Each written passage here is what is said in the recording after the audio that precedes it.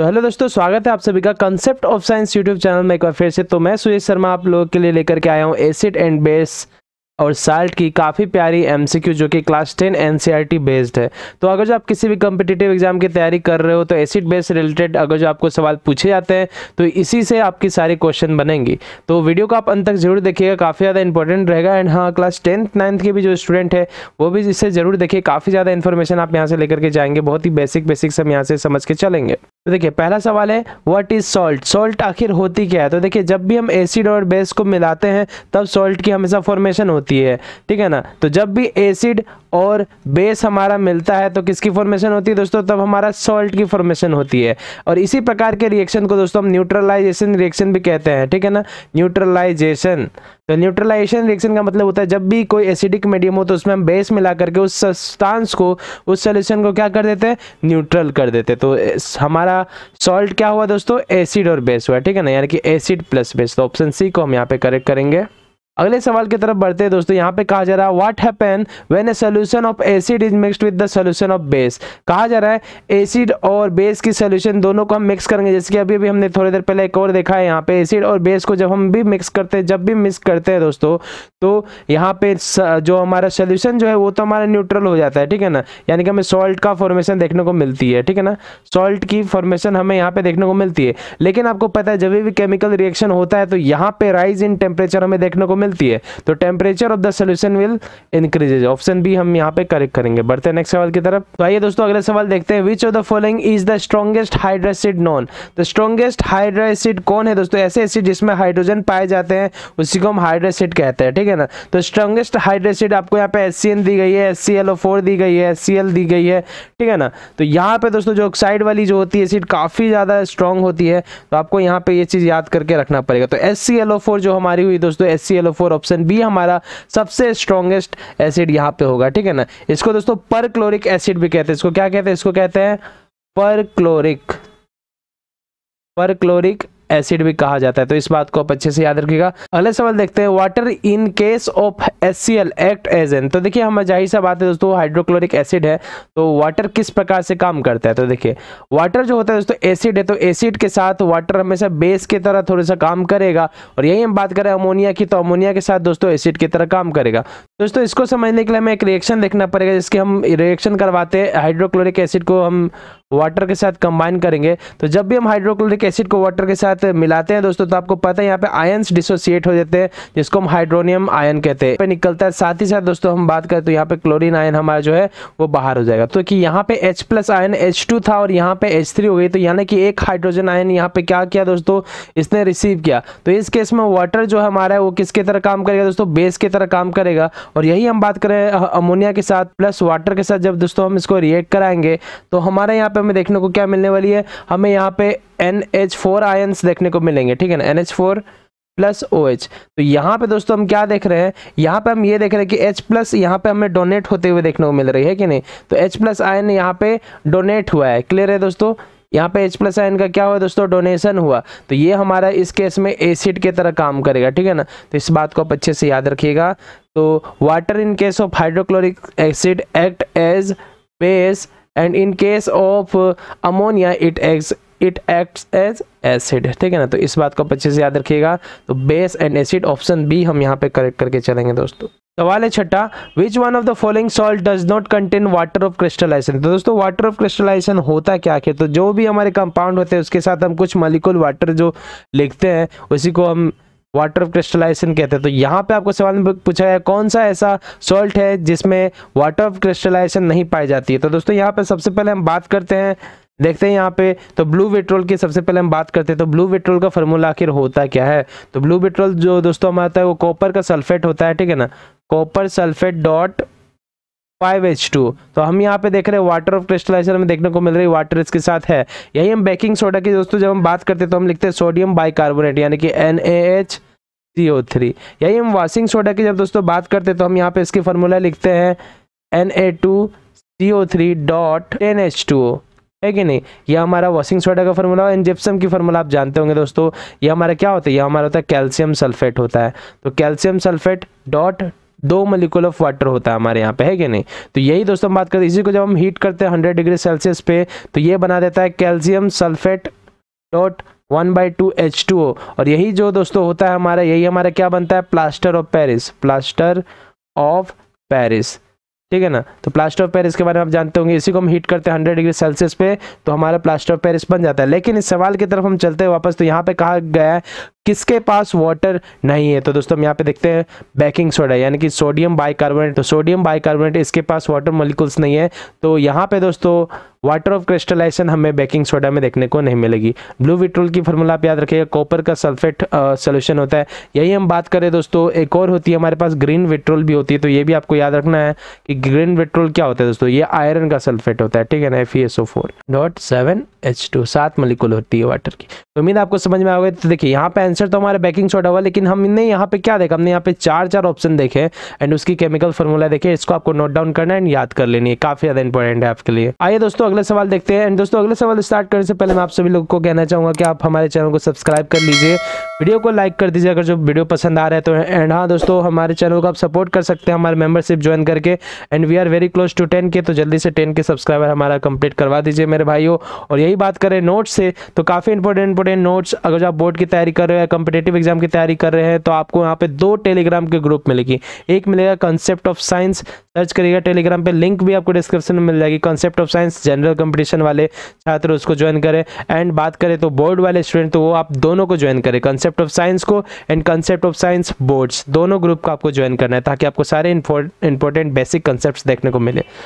बढ़ते हैं दोस्तों, अगले सवाल की तरफ़ तो यहाँ पे कहा जा रहा है in term of acidic strength which one of the following is correct तो कहा जा रहा है एसिडिक स्ट्रेंथ के हिसाब से कौन यहाँ पे एसिड स्ट्रॉन्ग होता है? तो देखिए दोस्तों एसिड स्ट्रॉन्ग वो होता है जो पूरे प्रकार से डिसोसिएट हो जाता है एच प्लस आयन पूरे प्रकार से डिसोसिएट होकर के एच प्लस आयन दे देता है, उसी को हम एसिड कहते हैं। तो हाइड्रोक्लोरिक एसिड की दोस्तों, हम बात करें तो पूरे प्रकार से डिसोसिएट होता है, फिर एसिटिक एसिड की हम बात करते हैं दोस्तों तो ये एक तरह का वीक एसिड है हमारे पास एंड वाटर तो आप जानते हैं न्यूट्रल है कि नहीं? तो यहाँ पे जो करेक्ट ऑर्डर होनी चाहिए तो वो होगा हमारे दोस्तों water acetic acid and hydrochloric acid जी हाँ तो water acetic acid hydrochloric acid option A ही हमारे यहाँ पे करेक्ट होगा बढ़ते नेक्स्ट सवाल की तरफ़। तो अगले सवाल की तरफ़ ध्यान दीजिएगा। What is form when zinc react with sodium hydroxide हम कह रहे हैं दोस्तों जिंक को रिएक्ट कर दे रहे किसके साथ? सोडियम हाइड्रोक्साइड के साथ रिएक्ट करा दे रहे तो दोस्तों, यहाँ पे काफ़ी प्यारा सा कंपाउंड बनता है, जिसको हम सोडियम जिंकेट कहते हैं, यानी कि N A two Z N O two ठीक है ना? तो इसको दोस्तों कहा जाता है सोडियम जिंकेट सोडियम जिंकेट तो इसको आप अच्छे से याद रखेंगे। जब भी जिंक सोडियम हाइड्रोक्साइड के साथ रिएक्ट करता है, सोडियम हाइड्रोक्साइड क्या है दोस्तों? एक तरह का स्ट्रॉन्ग बेस है। ये क्या है दोस्तों? बेस है। तो जब भी यहाँ पे जिंक बेस के साथ रिएक्ट करता है तो सोडियम जिंकेट बना देता है। काफ़ी इंपॉर्टेंट साथ ही साथ यहाँ पे दोस्तों एक गैस निकलती है जिसको हम हाइड्रोजन गैस कहते हैं। तो इस बात को अच्छे से याद रखिएगा। तो ऑप्शन की तरफ़ चलते तो यहाँ पे देखिए sodium, zincate and hydrogen gas तो ऑप्शन बी को हम यहाँ पे करेक्ट करेंगे। तो अगला सवाल काफ़ी ज़्यादा इंटरेस्टिंग है। यहाँ पे कहा जाए tomato is the natural source of which acid तो टोमेटो से कौन सी एसिड निकलती है दोस्तों? ये आपके सवाल पूछा गया तो काफ़ी ज़्यादा आसान है। ऑक्जेलिक एसिड यही हम बात करें। टाइट्रिक एसिड की। तो दोस्तों ये आपकी ग्रेप्स से निकलेगी। ग्रेप्स टैमरिंड आप जानते हैं? टैमरिंड यही साइट्रिक एसिड की हम बात करें दोस्तों तो ये आपके साइट्रस फ्रूट से निकले जो खट्टे फल होते हैं, खास करके लेमन की हम बात करते हैं। जी हाँ दोस्तों लेमन से भी ये रिलीज़ होती है। एसिटिक एसिड की दोस्तों हम बात करें तो आप जानते हैं, सिरका यानी कि विनेगर से आपको एसिटिक एसिड को आप निकाल सकते हैं। देखिए, एक और क्वेश्चन पूछा जा सकता है कि ओनियन में कौन सा एसिड पाया जाता है? तो याद रखिएगा सल्फेनिक एसिड सल्फेनिक एसिड ठीक है ना? सल्फेनिक एसिड तो दोस्तों सल्फेनिक एसिड जो होता है, ये ऑनियन को जब हम काटते हैं तो उसमें से सल्फेनिक एसिड बाहर निकलती है और ये मॉइस्चर के साथ कंबाइन कर जाता है, ठीक है ना? ये मॉइस्चर के साथ क्या कर जाता है दोस्तों? कंबाइन कर जाता है मॉइस्चर के साथ और बना देता है H two S O four यानी कि सल्फ्यूरिक एसिड इसी के कारण हमारा आँसू निकल जाता है दोस्तों H two S O four ये पूरे प्रकार से डायल्यूट फॉर्म में होता है तो अच्छे से याद रखिए ये एसिड जो है पूरे प्रकार से डायल्यूट फॉर्म में होता है। तो अगला सवाल देखिए, नौवा नंबर सवाल कहा जाए ब्राइन इज़ एन ब्राइन होता है क्या? बहुत ही ज़्यादा इंपॉर्टेंट सवाल है दोस्तों, बहुत बार एग्ज़ाम में पूछा गया है। तो ब्राइन जो होता है दोस्तों, बहुत ही ज़्यादा आसान है सोडियम क्लोराइड जो होती है दोस्तों, इसकी एक्वस सोल्यूशन को हम ब्राइन कहते हैं, ठीक है? तो aqueous solution of sodium chloride option C को हम यहाँ पे करेक्ट करेंगे। अगला सवाल देखिए फॉर्मूला दी गई है Na2CO3.10H2O इज़ अभी अभी हमने थोड़ी देर पहले देखा था सोडियम कार्बोनेट जो दोस्तों फॉर्मूला होती है, ये हमारी किसकी फॉर्मूला होती है? ये हमारी वॉशिंग सोडा की फॉर्मूला होती है। तो ऑप्शन ए को हम यहाँ पे करेक्ट करेंगे। सोडियम कार्बोनेट की बात करें दोस्तों तो ये हमारी किसकी फॉर्मूला होती है? वॉशिंग सोडा की होती है। टेन मलिकुल्स ऑफ़ वाटर इसमें होते हैं, अच्छे से याद रखिएगा इस चीज़ को यही बेकिंग सोडा की बात करें दोस्तों तो इसको जब बात की जाए तो बेकिंग सोडा की फॉर्मूला हमारे होती है सोडियम बाइकार्बोनेट, है कि नहीं? जिसको हम कहते हैं N A H C O three okay यही ब्लीचिंग पाउडर की बात करें दोस्तों तो इसको हम बोलते हैं कैल्शियम ऑक्सीक्लोराइड, ठीक है ना? Calcium oxychloride C A O C L two calcium oxychloride कहते हैं, यही हम टार्ट्रिक एसिड की बात करें दोस्तों तो ये हमारा टैमरिन से रिलीज़ होता है कि नहीं?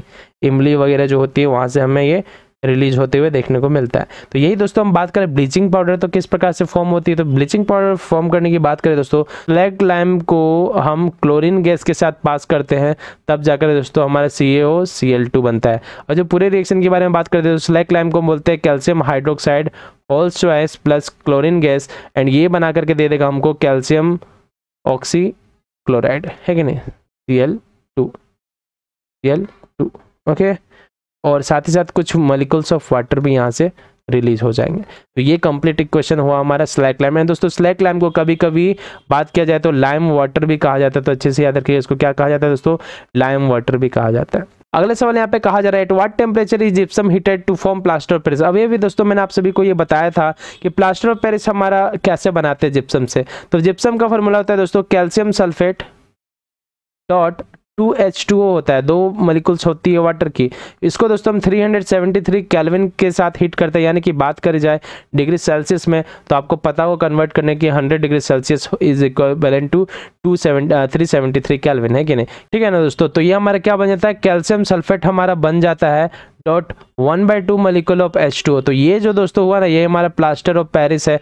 एंड इसी का दोस्तों हम बात करते हैं, जो पेर वेयर बोन वन फ्रैक्चर हो जाते हैं तो वहाँ पे जो प्लास्टर की जाती है, इसी मलिकुल से की जाती है, ठीक है ना? प्लास्टर ऑफ़ पेरिस से, अच्छे से याद रखिएगा। अगला सवाल यहाँ पे कहा जा रहा है how many water molecule does hydrated calcium sulphate contain hydrated calcium sulphate के बारे में दोस्तों बात किया जाता है, यानी कि calcium sulphate dot two H two O यानी कि बात करी जाए दोस्तों, ये बात किया जा रहा है जिप्सम का। जिप्सम तो जिप्सम के बारे में अभी हमने दोस्तों देखा कि कैल्शियम सल्फेट होती है, दो मलिकुल होती है वाटर की। तो आंसर जो हमारा होगा, दो मलिकुल होगा। अगले सवाल देखते हैं sodium carbonate is a basic salt because it is salt of देखिए सोडियम कार्बोनेट के बारे में बात की जा रही है, यानी कि N A two C O three तो सोडियम कार्बोनेट के बारे में बात की जा रही है दोस्तों कि ये क्या है? इज़ बेस होती है, ये बेसिक होती है। बेसिक सॉल्ट होती है क्यों होती है basic salt weak acid plus strong S strong base ठीक है? तो ये जो दोस्तों कैल्शियम कार्बोनेट होती है, ये weak acid plus strong base की बनी हुई होती है। तो इस बात को आप अच्छे से याद रखिएगा। Weak acid and strong base तो स्ट्रॉन्ग बेस के बने रहने के कारण ही दोस्तों जो यहाँ पे न्यूट्रलाइजेशन होकर के जो हमारा सॉल्ट बनता है, हमको पता है कि हम सॉल्ट कब बनाते हैं दोस्तों। जब हम एसिड को बेस के साथ मिलाते हैं, तब जाके हमारा सॉल्ट बनता है। लेकिन ये जो सॉल्ट बन रहा है, कहा जा रहा है कि सॉल्ट की भी करेक्टर कैसी है? बेसिक करेक्टर यानी कि कहने की बात यह है कि बेस जो रहा होगा, ये हमारा कैसा होगा दोस्तों?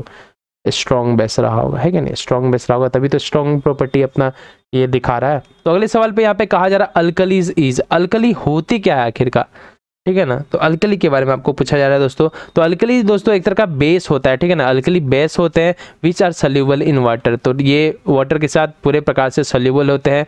अगले सवाल देखिए, काफ़ी इंटरेस्टिंग लग रहा है। Which of the following statement is correct about an aqueous solution of acid and base acid और बेस का एक्वा सोल्यूशन के बारे में बात किया जा रहा है। यहाँ पे कहा जा रहा है higher the pH stronger the acid pH ज़्यादा रहेगी तो एसिड स्ट्रॉन्ग रहेगा। ऐसा नहीं है दोस्तों, हम जानते हैं कि पीएच का वैल्यू सेवन जो रहता है, ये हमारा क्या रहता है? सेवन हमारे यहाँ पे ज़ीरो हो गए यहाँ पे फोर्टीन हो गई तो सेवन से जैसे हम सेवन जो रहता है, दोस्तों हमारा न्यूट्रल रहता है। जैसे हम राइट लेफ़्ट की तरफ़ शिफ्ट करते हैं तो एसिडिक करेक्टर इंक्रीज हो जाती है।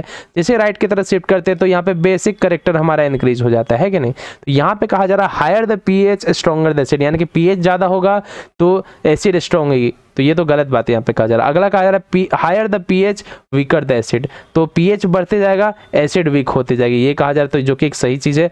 अब यहाँ पे थर्ड पॉइंट देखिए lower the pH stronger the acid lower the pH stronger the base यानी कि पीएच कम होगी तो बेस स्ट्रॉन्ग होगा। ये भी गलत बात है। Lower the pH weaker the base यानी कि पीएच कम होगी तो बेस भी क्या होगा दोस्तों? वीक हो जाएगा। तो यहाँ पे देख रहे हैं हम ऑप्शन टू एंड फोर जो है, ये हमारा करेक्ट हो रहा है। यानी कि ऑप्शन डी हमारे यहाँ पे इस सवाल का करेक्ट आंसर है। अगले सवाल देखिए देखिए दोस्तों lime water react with chlorine to give अभी अभी हमने आपको बताया था लाइम वाटर दोस्तों, जो हमारा होता है लाइम वाटर इसी को हम क्या कहते हैं? इसी को हम कहते हैं स्लैक्ट लैम स्लैक्ट लैम जिसको हम किस फॉर्मूला से जानते हैं दोस्तों?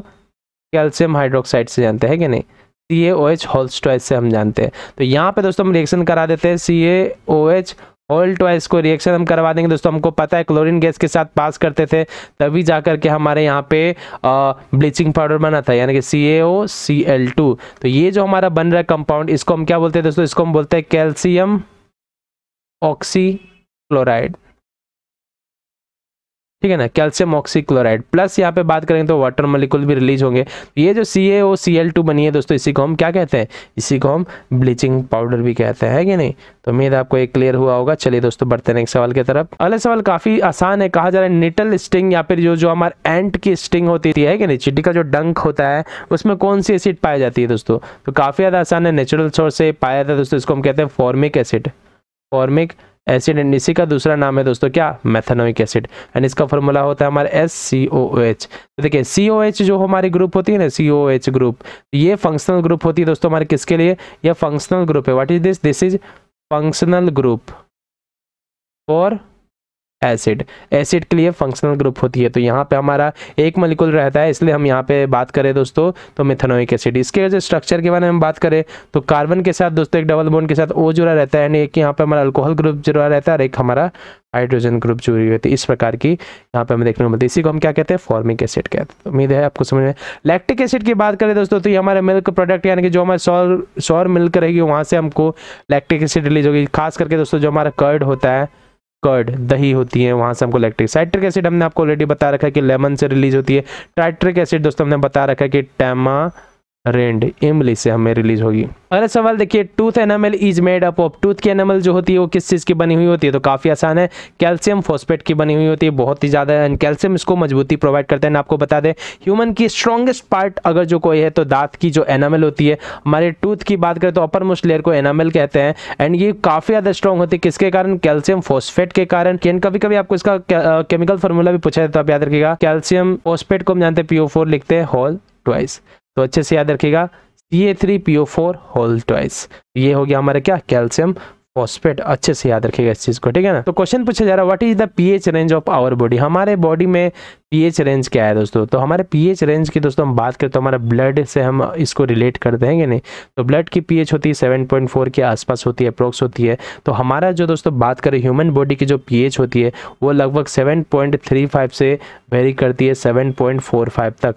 यानी कि इसका रिज़ल्ट हम देखें तो 7.0 से 7.8 के बीच आ रहा है, जो कि यही हमारा करेक्ट आंसर हो जाता है। तो अच्छे से इस चीज़ को याद रखें। एक और चीज़ आपको याद रखना पड़ेगा यहाँ पे कि जो हमारा स्टोमक जो होता है तो स्टोमक की पीएच के भी बारे में आपको बहुत ज़्यादा पूछा जाता है। स्टोमक के अंदर क्या होता है? स्टोमक के अंदर गैस्ट्रिक जूस होता है। एंड गैस्ट्रिक जूस की हम दोस्तों बात करते हैं वहाँ पे हमारा हाइड्रोक्लोरिक एसिड होती है। एंड आपको पता होगा कि स्टोमक के एक सेल होता है जहाँ से ये हाइड्रोक्लोरिक एसिड हो, रिलीज़ होती है। स्टोमक की कौन सी सेल तो दोस्तों हमने आपको ऑलरेडी बता रखा है। पेरिटल सेल या फिर ऑक्जेंटिक सेल ऑक्जेंटिक सेल तो इस सेल से हाइड्रोक्लोरिक रिलीज़ होती है ये रिलीज़ होने के कारण हमारे स्टोमक का जो मीडियम होता है हाईली एसिडिक हो जाती है है कि नहीं? जो कि जर्म्स वगैरह को किल करने में मदद करती है। तो हमारे स्टोमक का पीएच आपको कभी पूछा जाए गैस्ट्रिक ग्लैंड की पीएच अगर जो आपको पूछा जाए तो आप इसको अच्छे से याद रखिएगा। 1.5 से 3.5 तक ये वेरी करती है। 1.5 से 3.5 तक ये वेरी करेगी ओके चले बढ़ते हैं नेक्स्ट सवाल की तरफ़। यहाँ पे एक और सवाल कहा जा रहा है rain is called acid rain when it's तो रेन जो होती है आपको पता है कि हमारे कितने सारे हार्मफुल एनवायरनमेंट में गैसेस रिलीज़ होते हैं गाड़ी वारी से सल्फ़र सल्फ़र उल्फर से। तो ये जो uh, बात करी जाए हार्मफुल गैस जो हमारा रिलीज़ हुआ है जब रेन होती है तो वाटर के साथ कंबाइन करके काफ़ी हार्मफुल एसिड्स ये बना देते हैं कि नहीं? जैसे कि बात किया जाए दोस्तों सल्फ्यूरिक एसिड इस प्रकार के एसिड बना देते हैं। तो एसिड रेन हम कब कहेंगे? जब एसिड रेन हम तब कहेंगे दोस्तों जब उसका पीएच 5.6 से नीचे जाए, है कि नहीं? तब हम उस रेन को एसिड रेन कहेंगे इसकी कॉन्सिक्वेंसेस आप जानते हैं कि जो हमारा ताजमहल है, अभी धीरे धीरे येलो हुआ जा रहा है। ये एसिड रेन के कारण ही हो रहा है कि नहीं? तो काफ़ी हार्मफुल एसिड यहाँ पे हमें देखने को मिल जाते हैं जो कि पूरे प्रकार से मार्बल्स को डिसकलर कर देते कोरोड कर देते पूरे प्रकार से, है कि नहीं? इस बात को आप अच्छे से याद रखिएगा। तो चलिए दोस्तों, बस इतना तक ही रखते हैं आज का हमारे लेक्चर में। उम्मीद है आपको ये लेक्चर पसंद आएगा लेक्चर पसंद आए तो लेक्चर को लाइक करिएगा। चैनल को आपने अभी तक सब्सक्राइब नहीं किया तो चैनल को सब्सक्राइब करेगा एंड हाँ वहाँ पे जो ज्वाइन बटन है, उसको ज्वाइन करिए एंड चैनल को सपोर्ट आप कर सकते हैं। टेलीग्राम ग्रुप को ज़रूर ज्वाइन करेगा चलिए, मिलते हैं नेक्स्ट वीडियो में। तब तक हमारे साथ बनाने के लिए बहुत बहुत धन्यवाद। जय हिंद, जय भारत।